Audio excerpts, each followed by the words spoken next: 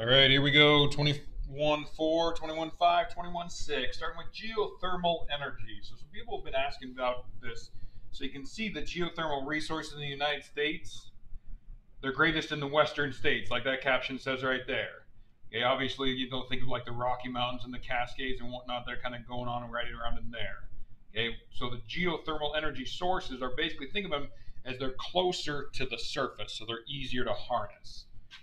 Now the geothermal thing I wrote there is not distributed evenly. So obviously, you know, compare like, you know, Virginia and Maryland and stuff like that and Florida per se over to like, you know, Oregon and Idaho and stuff like that.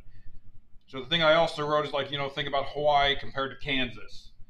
You know, obviously the lava and the, the magma are really, really, really close to the surface near on the big island, but in Kansas it's obviously not as good. So the the net or they're not distributed evenly not only around the country but around the world as well. So the 21, excuse me, uh, 2120, this diagram here basically shows how a geothermal plant works. So you can see number one, the magma is on the bottom. It heats up the groundwater that are in the aquifers. Okay, that's going to generate a bunch of steam. So this geyser, like think about like you know Yellowstone National Park. That's why there are geysers right there, because the water is being being heated up, so the steam shoots out. So the geothermal plant is basically capturing that heat's energy and then basically using that to turn a turbine with that steam and everything, like we've talked about a bunch of times. So moving on to page 596, there's also a thing called ground source heat pumps. So these are typically used in like smaller communities. So they can cool the homes in the summer, they can warm the homes in the winter, and the ground temperature stays consistent. So the diagrams, and I'll show you them on the bottom in just a quick second, they're 21, uh, figure 21, 22, basically shows how this whole stuff works. Now this obviously, like we just talked about, is that geothermal energy isn't, isn't spread out evenly. So this doesn't work in certain parts of the country. So, you know, at times, you know, during the summer, there's going to be a lot of hot, or there's going to be warmer, warmer water coming out of the house then it cools down, and then comes back into the house. Flip side, look at winter. Winter, you're going to have cold water coming out of the house because it's colder up top. That water will warm up in the ground and then comes back in and will heat the house. Okay? This is happening up in Iceland, and I talked about this the other day. And I'm not even going to try and say the word, the name of that town.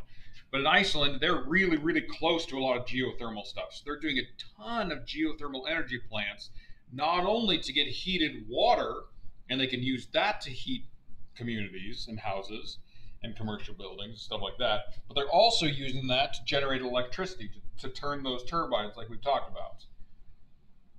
All right, so next, there's these ocean energy sources.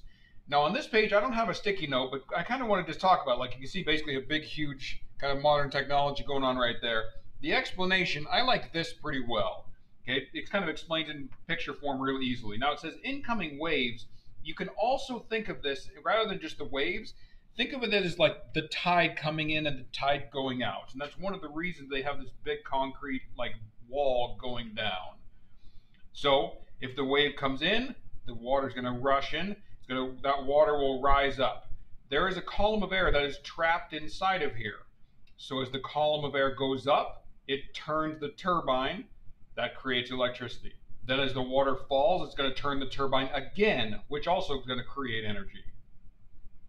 So that's how they're harnessing the oceans, uh, oceans to use it for energy sources.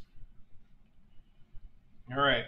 So next we're talking about, um, actually I should talk about right, um, here I am. So we can harness tidal energy by allowing the water to spin turbines. So again, this is just kind of another version of what they're doing. So you can see the ocean there as tide goes in, goes into the basins and back and forth and back and forth. Okay. Next, we can move on to hydrogen fuel cells. So again, I didn't put a, uh, a sticky note on either of these two pages, as you can see, because there's not really much to really write besides just simply needing to know how this stuff works is basically all it is. All right, so here's the hydrogen fuel cells. This image is pretty good. 2126.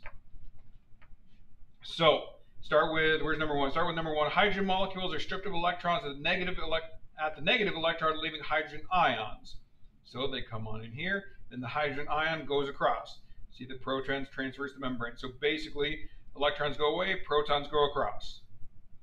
So the electrons move from the negative electrode to the positive electrode, creating current generating electricity. So basically, they're going from one side to the other. So again, they're talking about this magnet stuff I was talking about the other day. That's how electricity is generated. You stick some oxygen in there, and you create water. So it's a very, very, very clean energy source. You stick in hydrogen, you stick in oxygen, and you get water out of it. Really straightforward. There's no like air pollution coming out of this, anything like that. So that's why, if you've seen a lot of the buses are on natural gas and on hydrogen fuel, that's why they're doing that. Then there's just more kind of like the explanation chemistry version on page 600. So pretty straightforward lecture, and honestly not too many sticky notes, but just to kind of review the last couple of different new renewables we talked about. Leave some questions. We got some in the chat.